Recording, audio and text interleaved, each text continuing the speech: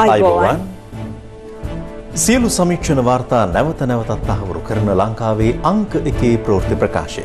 පැත්ත ගියත් ඇත්ත කියන හිරු රාත්‍රී නවය පනස්පා ප්‍රධාන ප්‍රෘති ප්‍රකාශයෙන් ඔබහමුවන මම මලින්ද තිරිමාන්න.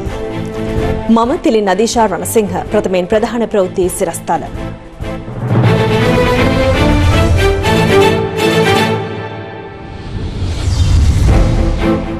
සයිටම් ගැටලුවට ස්තිර විසඳුම් ඉල්ලා පැමිණි අන්තරේපා ගමනට පොලිසියෙන් ජල හා කඳුළු ගෑස් ප්‍රහාර.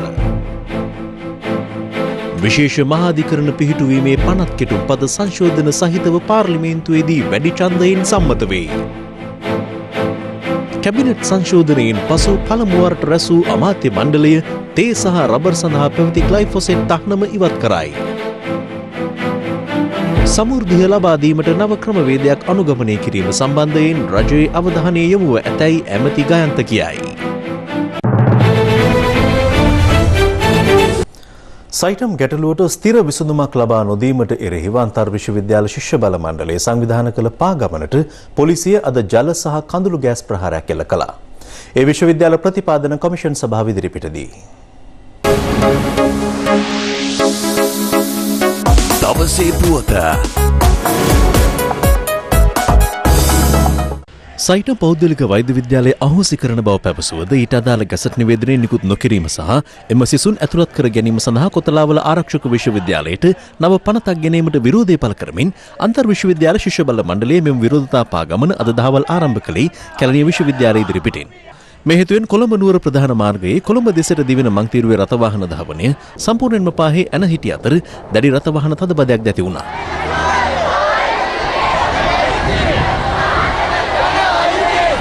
අන්තර් විශ්වවිද්‍යාලී ශිෂ්‍ය බල මණ්ඩලයේ මෙම විරෝධතා පාගමනට කොටුව මහේස්ත්‍රාත් අධිකරණයෙන් අධිකරණ නියෝගයක් නිකුත් කර තිබුණා.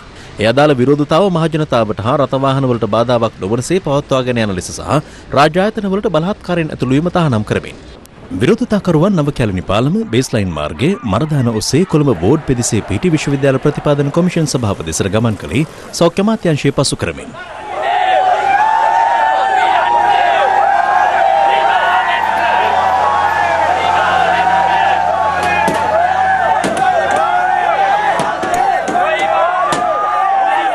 කෙසේ වෙතත් විශ්වවිද්‍යාල ප්‍රතිපාදන කොමිෂන් සභාවට පිවිසෙන වෝඩ් පෙදෙස පොලිසිය මාර්ගබාධක යොදා වසා දමා තිබීම හේතුවෙන් විරෝධතාකරුවන් ලිප්ටන් වටරවම සම්පූර්ණයෙන් අවහිර කරමින් විරෝධතාවයේ නිරත වුණා. ඒ හේතුවෙන් ඒ ආශ්‍රිත ප්‍රදේශයේද දැඩි රථවාහන තදබදයක් හටගත්තා.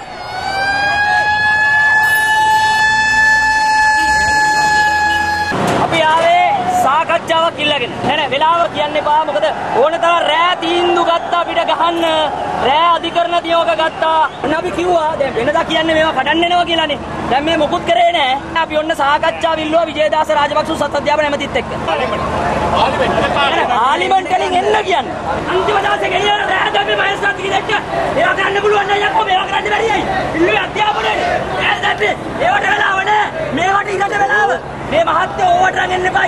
ලියුම් දාලා තියන්නේ. හරිද? මේක තමයි ඔයාලට මේ රෙද්දවල් මේක ඇස්සේ දාන්න එපා කියන්නේ. කියනනම් අපි දන්නවා ඔයාලත් එක බේරගන්න විදිය. අනතුරුව විරෝධතාකරුවන් විසිරුවා හැරීමට පොලිසිය ජල හා කඳුළු ගෑස් ප්‍රහාරයක් එල්ල කළා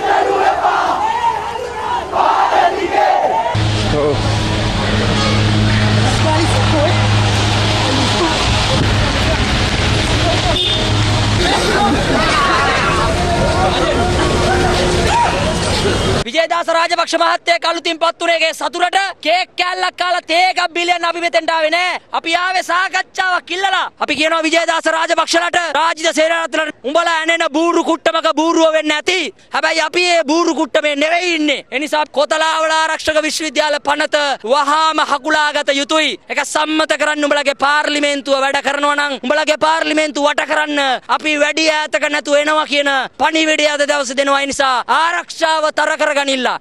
මේ අතර සයිටම් ගැටලුවේ වත්මන් තත්ත්වය සම්බන්ධයෙන් රජයේ වෛද්‍ය නිලධාරීන්ගේ සංගම් කාර්යාලයේදී අද විශේෂ සාකච්ඡාවක් පැවැත්වුණේ දේශපාලන පක්ෂ නියෝජිතයින් ඇතුළු පාර්ශව කිහිපයකගේද සහභාගිත්වයෙන්. ආණ්ඩුව සෞඛ්‍ය කැමතිවරයා නැවත ආරාධිනවා කොතලාබල වෛද්‍ය පීඨයට අදාළ පනත පාර්ලිමේන්තුවේදී වෙනස් කරමින් ලංකාවේ තවත් අලුතෙන් බිහිවන ඕනෑම පෞද්ගලික වෛද්‍ය ආයතනයක් කොතලාවල විශ්වවිද්‍යාලය හරහා වෛද්‍ය උපාධිය ලබා දීමේ පදනම ඇති කිරීමේ තත්ත්වයට ගෙනෙන්න ඒ නිසා අපි ආණ්ඩුවට බල කර සිටිනවා. පොරොන්දු වෙච්ච විදියට සයිටම් සිසුන් කොතලාවල වෛද්‍ය පීඨයට අන්තර්ග්‍රහණය කිරීමේ කටයුතු කඩිනමින් අවසන් කළා. සයිටම් ආයතනය වසා දමන්න කටයුතු කරන්නයි කියලා. හර්ෂ සිල්වා ඇමතුමා විසින් ඒ සටන අවසන් කරන මොහොතේදී විශිදල් ශිෂ්‍යයින්ට දෙමව්පියන්ට එවැගේම වෘත්තීය සමිතිවලට දීපු පොරොන්දුව කඩ කරලා තිබෙනවා. පාර්ලිමේන්තුව තුල ඒ කොතලාවල ආරක්ෂක විද්‍යාල සම්බන්ධ පනත පරාජය කිරීමට අපි කටයුතු කරනවා. ඒ වගේම මේ රටේ නිදහස් අධ්‍යාපනය සෞඛ්‍ය වෙනුවෙන් අබමල් රොණකහෝ ඉතීමක් තිබෙන පාර්ලිමේන්තු මන්ත්‍රීවරුන්ට හෘද සාක්ෂියක් තිබෙන පාර්ලිමේන්තු මන්ත්‍රීවරුන්ට අපි ආරාධනා කරනවා සහ බල කරනවා මේ රටේ දරුවන්ගේ අධ්‍යාපනය විනාශයට පත් කරන මේ පනත පරාජය කරන්නට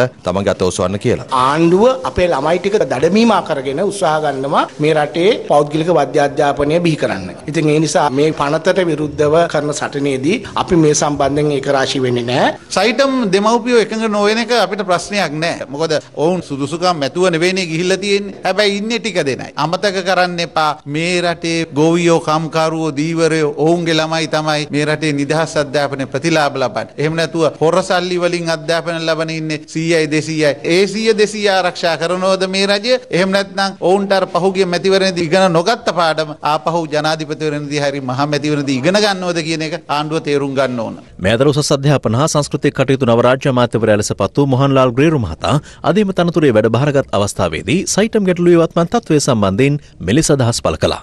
දැන් මේක දිගින් දිගටම මෙහෙම ගිහිල්ලත් බෑ මොකක් හරි තැනකට එන්නට ඕනේ. අපේ රාජ්‍ය සරසවිවල සිසුන්ටත් ඒ වගේම දැන් සයිටම් එකට බැඳීම නිසා අගතියටපත් වූ සිසුන්ටත් සාධාරණයක් කිරීම සඳහා මම හිතනවා අපි සියලු දෙනාම හිත හදාගන්න ඕනේ කියලා.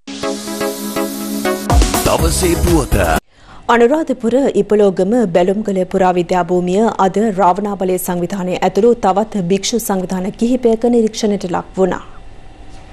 අනුරාධපුර ඉපලෝගම ප්‍රාදේශීය ලේකම් කොට්ටාසයට අයත් බැලුම්ගල පුරාවිද්‍යාස්ථානය බැකෝ යන්ත්‍ර යොදාගනිමින් විනාශ කර ඇති බව අප මුල්වරට අනාවරණ කළේ පසුගිය පස්වනදායි. නිවාස සංවර්ධන අධිකාරිය නව ගම්මානයක් ඉදිකිරීම සඳහා මෙම භූමිය මෙලෙස එලි පෙහෙලි කර තිබුණේ පෞරාණික වටිනාකමින් යුත් පුරාවිද්‍යාත්මක ස්ථානවලටද හානි පමුණුවමින්. මේ සම්බන්ධයෙන් සොයා බැලීම සඳහා රාවණා බලය සංවිධානය සිංහලයේ සංවිධානය ඇතුළු සංවිධාන කිහිපයක භික්ෂුන් වහන්සේ අද එම ස්ථානයට පැමිණියා.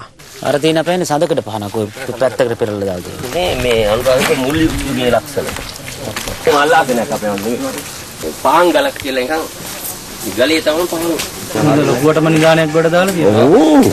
නිලධාරිතුමියක් වැඩසටහනකට ලක් කරලා තියෙනවා. මහ බැංකුව මංකොල්ල කෑවම අර්ජුන් මහේන්ද්‍රන් වෙනුවෙන් පොඩි පොඩි අය අල්ලලා කූඩු කරනවා වගේ වැඩක් තමයි මේ කරන්නේ. මේක සම්පූර්ණ වගකීම මුළු රජයේම ගන්න ඕන.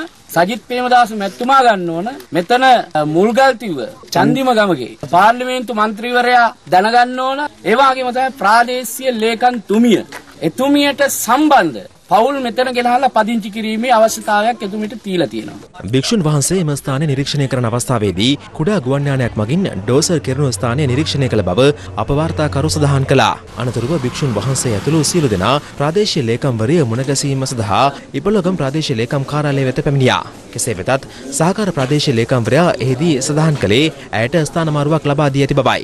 එහිදී ප්‍රාදේශීය සභාවේ හිටපු උපසභාපතිවරයෙක් පැවසූ පුද්ගලයෙක් අදහස් දැක්වීමත් සමග උණුසුම් තත්ත්වයක් ඇති වුණා.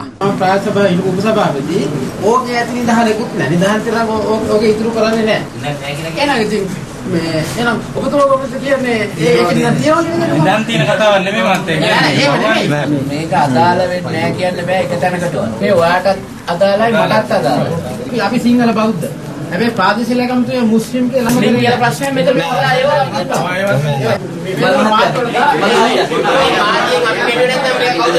මේ සිද්ධියක් වුණාම මේකේ මුල්ගල් තියපු අයවත් දේශපාලනඥයෝ සියලු දෙනා අයින් වෙලා සද්ද නැතුව ඉන්නවා. හැබැයි නිලධාරීන්ගේ බෙල්ල යනවා. මේකෙදි අපි නිලධාරීන්ගේ බෙල්ල යන්න දෙන්නේ. මේ අතර අදාළ නිවාස ව්‍යාපෘතිය ක්‍රියාත්මක කළ නිවාස සංවර්ධන අධිකාරිය සභාපතිවරයා අද කොළඹදී ප්‍රවෘත්ති සාකච්ඡාවක් පැවැත්තුවා. කවර හෝ හේතුවක් නිසා අපිට මේ ව්‍යාපෘතිය සඳහා ලබා දුන් භූමියෙන් බාහිර ප්‍රදේශයක් බැකෝ යන්ත්‍රය යොදලා පවිත්‍ර කිරීම සිද්ධ වෙලා තිබෙනවා. දැන් මේ කටයුත්ත තුලින් ඒ ප්‍රදේශයේ තිබෙන පුරාවිද්‍යාත්මක වටිනාකම යුත් ද්‍රව්‍ය සඳහා හානියක් සිදු වෙලා තිබෙනවා. කළමනාකරණයේ තීරණය කරා ඒ ප්‍රමුඛතම වගකීම් දරන්න දිස්ත්‍රික් කළමනාකාරණියත් තාක්ෂණ නිලධාරී මහත්මයාගෙත් වැඩ තහනම් කරන්නට. ඒ වගේම තවත් ඒ පිළිබඳ වගකිය යුතු නිලධාරීන් දෙපළක් හඳුනාගෙන තිනවා. ඔවුන්ගෙත් වැඩදානම් කිරීම දැනට සිද්ධ වෙනවා. මේ අතර අද පැවති අමාත්‍ය මණ්ඩල රැස්වීමට සහභාගී වීමෙන් අනතුරුව ජනාධිපති ලේකම් කාර්යාලය අසලදී මාධ්‍යවේදීන් ඉපලෝගම සිද්ධිය සම්බන්ධයෙන් නිවාස හා ඉදිකිරීම අමාත්‍ය සජිත් ප්‍රේමදාස මහතාගෙන් ප්‍රශ්න කළා. මට පුද්ගලිකව චෝදනා කරන සියලු දෙනාම චෝදනා නිර්මාණය කරන්නේ පුද්ගලික චරිත ඝාතනයක් හැටියට. මම ඒවා එච්චර ගණන් ගන්නේ නැහැ. කෙලින්ම චෝදනා ඔබතුමා නිදන් සෙවීම සඳහා මේ ඉඩම ඩෝසර් කළා. විවිධ දේශපාලඥයෝ සමහරු ඍජුව කියනවා සමහරු වක්‍රාකාරයෙන් කියනවා. ඇත්ත වශයෙන්ම මම ඉල්ලීමක් කරනවා මම වරදක් කරලා තියෙනවා නම් මට මේ මොහොතේ හෙන ගහන්නටත් බොරු කට කතා පතුරවන අයටත් ඒක ඉතින් දෙයයන් වහන්සේම ඒ වගකීම බාර ගන්න. මල්ලි රාජ්‍ය මන්ත්‍රීවරයා තමයි ඔබතුමාට මේ චෝදනාව කළේ නිදන් හොයනවා කියන මොකද එතුමාට කියන්න තියෙන්නේ. මම එතුමාට අනුකම්පා කරනවා.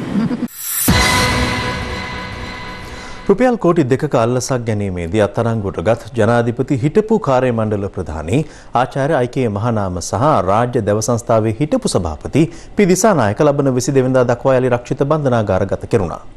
ඒ සැකකරුවන් කොළඹ මහේස්ත්‍රාත් අධිකරණය හමුවට ඉදිරිපත් කළ අවස්ථාවේදී දැඩි ආරක්ෂක රැකවල් මධ්‍යයේ සැකකරුවන් අධිකරණයට ඉදිරිපත් කරනු අතර එහිදී අල්ලසෝ දූෂණ චෝදනා විමර්ශන කොමිෂන සභාව සඳහන් කළේ විමර්ශන තවදුරටත් සිදු කරමින් පවතින බවයි.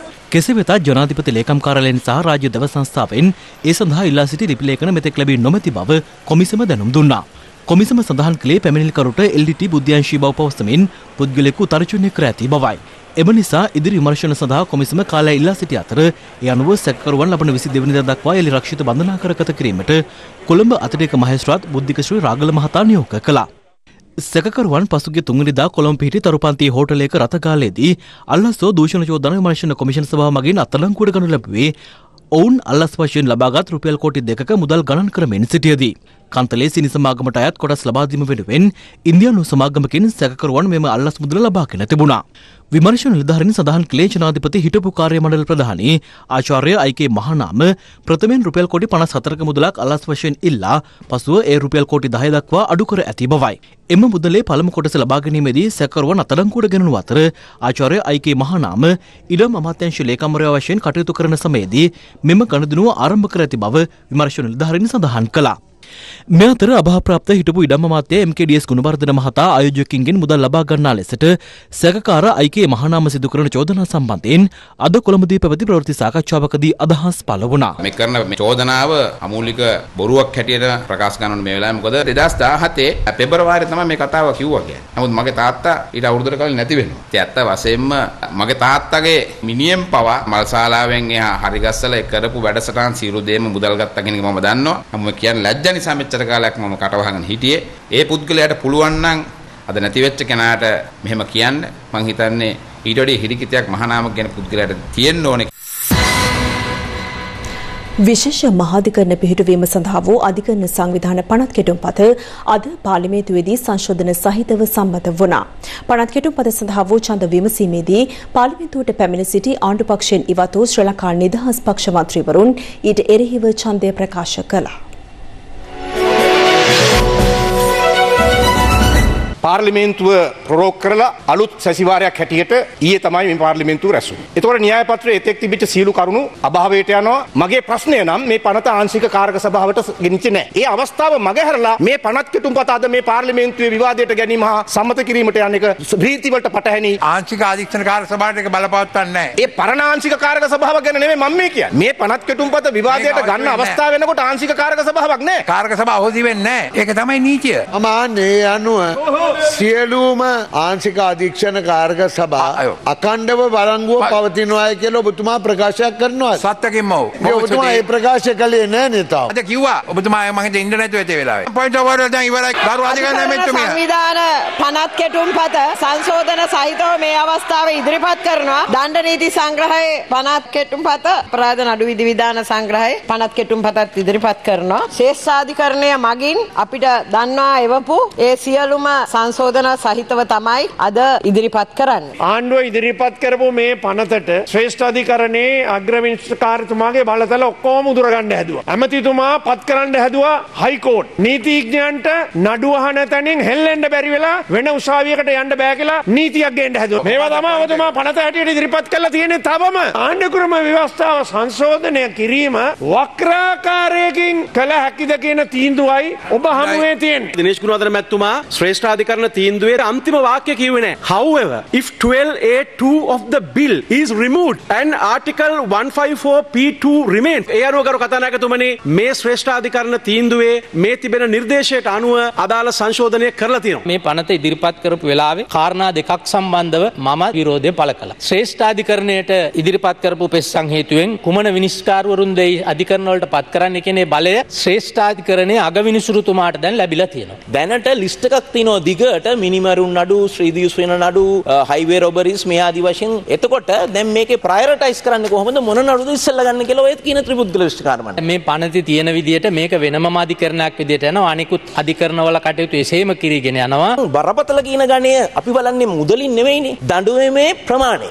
දඬුවීමේ ප්‍රමාණය කැපිල් පනිෂ්මන්ට් එන ඒවා ඉස්සෙල්ලා ගන්නවද මේකට? එහෙම නැත්නම් මේ අවුරුදු 3ක් දෙන්න පුළුවන් CBT එකක් ෆොල්සිෆිකේෂන් එකක් එකක් ගන්නවද කියලා මම අහන්නේ. ඒ අභිමතයේ තියෙන්නේ නීතිපතිතුමාට තමයි ඉල්ලීමක් කරන්නේ. ඒකට ඉඩ දෙනවද නැද්ද කියලා තීන්දුව කරන්න තියෙන අගවිනිසුරුතුමාට. දැන් මොකද්ද මේ ආණ්ඩුව කළේ? අවුරුදු 3ක් තිස්සේ හොරු ඇල්ලුවා. දැන් කොල්ල පොරු? දැන් හොරු අල්ලන්න බාර දෙන්න යනවා උසාවියට. උසාවිය වැඩේ හොරු අල්ලන එක නෙවෙයි. දැන් මේක ඉස්සෙල්ලාම නඩුවන්න ඔබතුමිය ඊයේ කිව්වා බැඳුම් කරේ ගේනවා කියලා. කොවිත්තිකාරයා? පළවෙනි විත්තිකාරයා. පළවෙනි විත්තිකාරයාව අල්ලාදීමේ වගකීම තින්නේ ඔය පැත්තටයි. ඕක කියන්න ගිහිල්ලා තමයි ඔය පැත්තෙන් මේ පැත්තට අපිට වෙන්න උනේ. හරිද? තවත් අය එන්න පුළුවන් ඔහොම ගියොත්. හොරකම් පිළිබඳ නිකන් පූජානම් කතා විතරක් මාධ්‍යවල කරනකොට හොරකමට භාජන වෙච්ච කෙනාට පුළුවන්කම ලැබෙනවා මේක පරිගැනීමක් මේක Tamanට එරෙහිව කරන හතුරුකමක් කියලා. ඒ தත්ත්වය වර්ධන වුණාට පස්සේ තමයි දැන් මේ නීති ගේන්න කතා කරන්නේ. මහ බැංකුව බැඳුම් කර වංචාව පිළිබඳ නඩුව පළවෙනි නඩුව විදිහට මේ පීඨවන මහාධිකරණය අහලා පෙන්න. මේක තමන්ගේ ආණ්ඩුවේ පැත්තෙන් වැරද්දක් වුණත් ભેදයක් නැහැ කියන එක ඔප්පු කරලා පෙන්න. එහෙම නැතුව විපක්ෂයේ චෝදනා විතරක් විභාග කර තත්වයකටපත් වුණොත් අන්න එතෙන්දි තමයි මේක ඍජුවම දේශපාලන පරිගැනීම ඉලක්ක කරගෙන පිහිටවපු අධිකරණයක් කියලා තහවුරු වෙනවා. මේ අතර ආණ්ඩු පක්ෂයෙන් ඉවත්ව විපක්ෂයේ අසුන්ගත් ශ්‍රී ලංකා නිදහස් පක්ෂ මන්ත්‍රීවරුන් 16 දෙනා වෙනුවෙන් SP දිසානායක මහතා පාර්ලිමේන්තුවේදී විශේෂ ප්‍රකාශයක් සිදු කළා. කතානායකතුමනි අපි විපක්ෂයට එන විට අපිට ඒකාබද්ධ විපක්ෂයේ නායකතුමා ගරු මහින්ද රාජපක්ෂ මැතිතුමා අපි බොහොම ගෞරවයෙන් පිළිගත්තා. අපිව ධෛර්යමත් කරා දිනේෂ් ගුණවර්ධන මැතිතුමා, විමල් වීරවංශ මැතිතුමා, වාසුදේව නායකකාර මැතිතුමා, චන්ද්‍රසිරි ගජදීර මැතිතුමාට, උදේ ගම්මන්පිල මැතිතුමාට අපි 16 දෙනාගේම විශේෂ ගෞරවය පුද කරන්න කැමතියි. අපි 16 දෙනා ඉතාමත් සහෝදරත්වයෙන් විපක්ෂයේ වගකීම් ඉටු කිරීමට බලාපොරොත්තු වෙන බව මේ අවස්ථාවේදී ඔබතුමාට කියන්න කැමතියි. අපි හිතන්නේ එක්සත් ජාතික පක්ෂයට එරෙහි බලවේගයක් ගොඩනැගීමට විපක්ෂයේ ඉඳගෙන අපට යම් කාර්යභාරයක් කරන්න පුළුවන්. ගරු අගමැතිතුමා පහුගිය මැයි දිනේදී කියලා තිබ්බා සමෘද්ධි මුදල් කෝටි 675ක් අතුරුදහන් වෙලා. ඒ විෂය බාරව හිටපු ඇමතිවරයා හැටියට මම ඔබතුමාට කියන්න කැමතියි. මේක කාගේවත් පිට මම පටවන්නේ ඒ වගකීම මම බාර ගන්නවා බොහොම කැමැත්තෙන්. එහෙම ප්‍රශ්නයක් තියෙනවා නම් අගමැතිතුමාට මම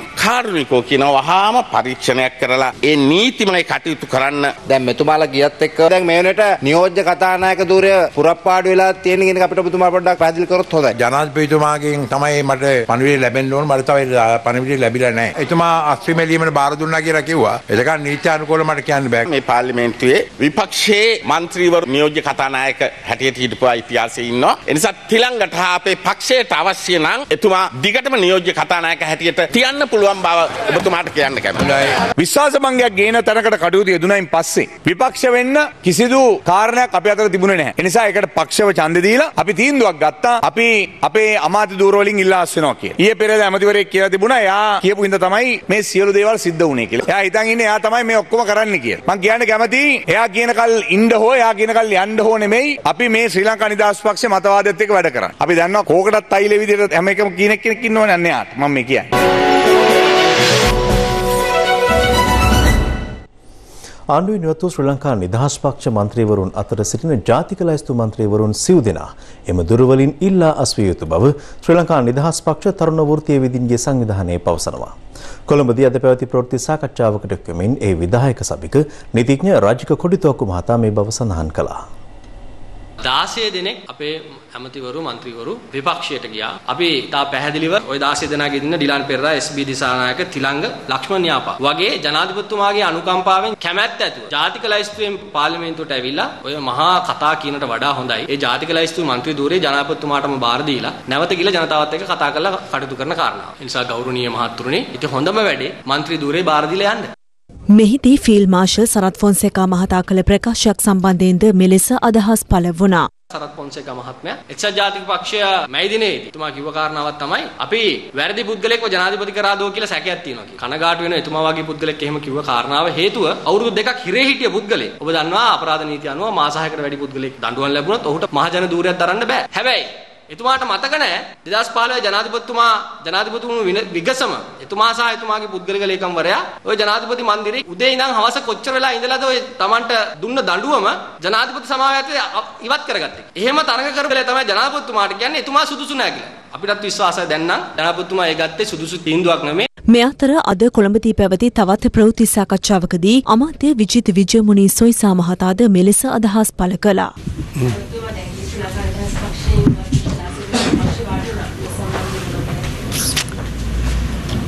ඒ අය අපිත් එක්ක ඉන්නවා. ශ්‍රී ලංකා නිදහස් පක්ෂය විපක්ෂ ගිහිල්ලා වාඩි වුණෙත් සෙන්කෝලේ තියන්න කලින්. අපිත් ඔය සෙන්කෝලේ තිබ්බ නැති වෙලාවට එහෙම නැත්නම් පාර්ලිමේන්තුව අපි දෙපැත්තට ඇවිල්ලා කතා කරනවා. ඉතින් ඒක නිසා සෙන්කෝලේ තිබ්බට පස්සේ ගියා නම් තමයි හරියට ක්‍රොස් ඕවර් වුණා කියලා සාමාන්‍යයෙන් පාර්ලිමේන්තු සම්ප්‍රදායේ තියෙන්නේ. මේක මං හිතන්නේ අතිගරු ජනාපතිතුමාගේ නව ක්‍රමවේදයක්ද කියලා මම දන්නේ නැහැ.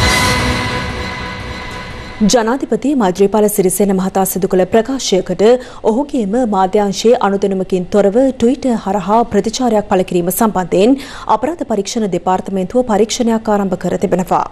ජනාධිපති මාධ්‍යංශය සඳහන් කළේ සිය නිල ට්විටර් ගිණුම හැක කරුවන්ගේ ග්‍රහණයට නතුව ඇද්දැයි තවමත් සනාථ කළ නොහැකි බවයි. අටවන පාර්ලිමේන්තුවේ දෙවැනි සැසිවාරදී සිදු කළ කතාවේ කොටසක් ඊයේ ප්‍රකාශයට පත් කර තිබුණේ ජනාධිපති මෛත්‍රීපාල සිරිසේන මහතාගේ නිල ට්විටර් ගිණුම හරහායි. කෙසේ වෙතත් ඊට ජනාධිපති මාධ්‍යංශයේ නිල ට්විටර් ගිණුමෙන් අසාමාන්‍ය ප්‍රතිචාරයක් දක්වා තිබූ අතර කෙටි වේලාවකින් ඒ ඉවත් කිරීමට කටයුතු කර තිබුණා. සිද්ධිය සම්බන්ධයෙන් ජනාධිපති මාධ්‍යංශය සඳහන් කළේ සිය ගිණුමෙන් අසාමාන්‍ය ප්‍රතිචාරයක් ජනාධිපතිවරයාට පළවීම සම්බන්ධයෙන් වගකීමක් නොගන්නා බවයි. අනුදනමකින් තොර පළ වූ අදාළ ට්විටර් ප්‍රතිචාරය සම්බන්ධයෙන් අපරාධ පරීක්ෂණ දෙපාර්තමේන්තුව විමර්ශන සිදු කරන බව ජනාධිපති මාධ්‍යංශය සඳහන් කළා.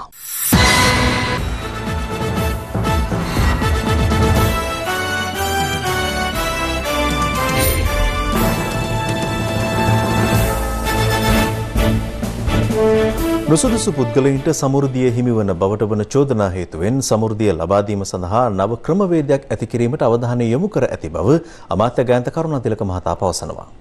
මේ අතර සමස්ත ලංකා සමෘද්ධි හා කෘෂි පර්යේෂණ නිලධාරීන්ගේ සංගමය පවසන්නේ සමෘද්ධි බැංකුව මහ බැංකුව යටතට පවරා ගැනීමේ යෝජනාව සති දෙකක් ඇතුළත රජය හකුලා නොගන්නේ නම් ඉදිරියේදී දැවැන්ත විරෝධතා ව්‍යාපාරයක් දියත් කරන බවයි. සමෘද්ධි බැංකුව මහ බැංකුවට පවරා ගැනීම සම්බන්ධයෙන් අග්‍රාමාත්‍යවරයා කළ ප්‍රකාශය සම්බන්ධව අමාත්‍ය ගයන්ත කරුණාතිලක මහතා මෙලෙස අදහස් පළ කළේ සිය අමාත්‍යංශයේ පැවති සාකච්ඡාවකින් අනතුරුවයි.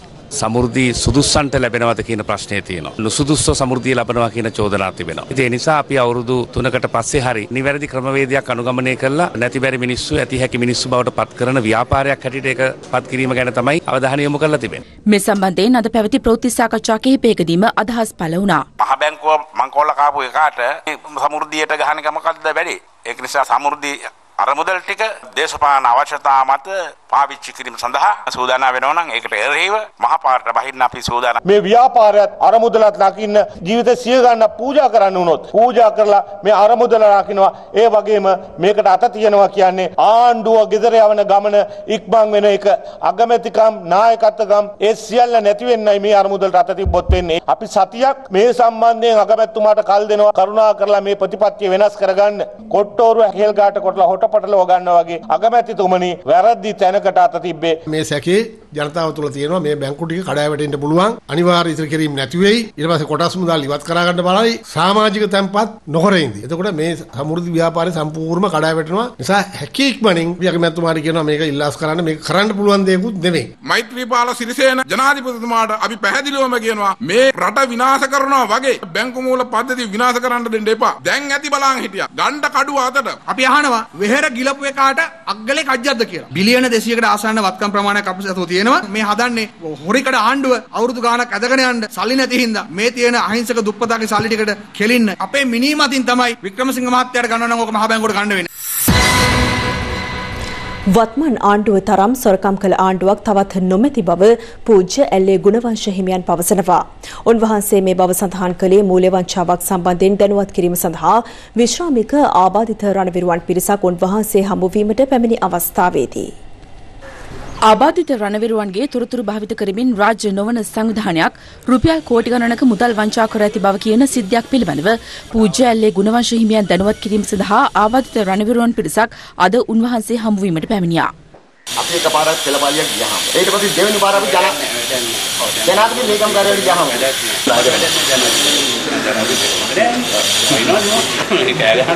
වැරදි වැඩවලට වැරදි වැඩ වලට මම ඊට කියන්නේ නැහැ. දැන් මම FCA එකට විරුද්ධව මම නඩුවක් දාලා තියෙන ඒකත් වැරදි නීතියක් උඩ තමයි මේ පිළිතුර තියෙන්නේ. අපි තීන්දුව දෙන්නේ. ඒක දෙන්නයි කියලා යාරයි.